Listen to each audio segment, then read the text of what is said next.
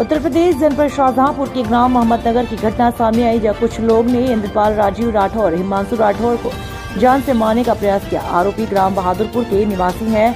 आरोपी आशीष, आनंद राम, दिनेश, अनुज, धीरज, पवन, सतीश, इन लोगों ने खेत में घुसकर इंद्रपाल राजीव राठौर, हिमांशु खेत में पानी चला रहे थे। थोड़ा सा पानी पवन, दिनेश, आनंद राम, धीरज के खेत में चला गया। वह लोग डंडे और लाठी से मारने लगे। ब्यूरो चीफ संदीप कुमार, मोदी की खास रिपोर्ट।